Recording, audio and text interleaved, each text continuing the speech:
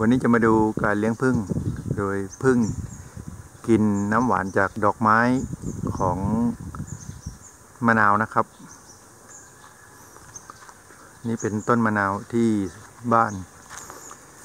ทุกเช้าก็จะมีผึ้งมากินน้ำหวานจากดอกของมะนาว เยอะเลย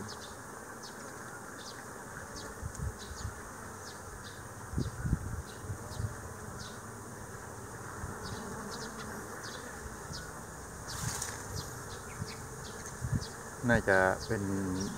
ร้อยตัวเลยนะครับ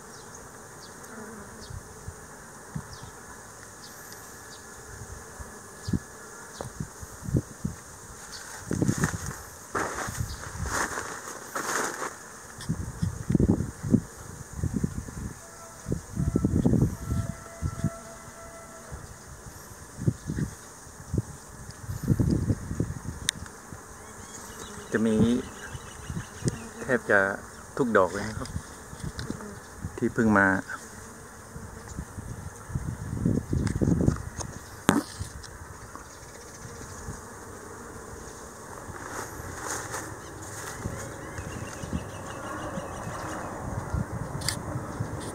รสชาติของ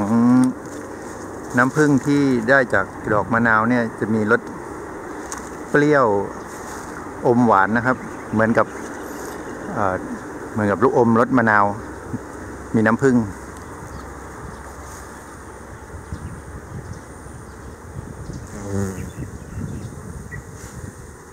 เยอะเลยนะครับผึ้งมี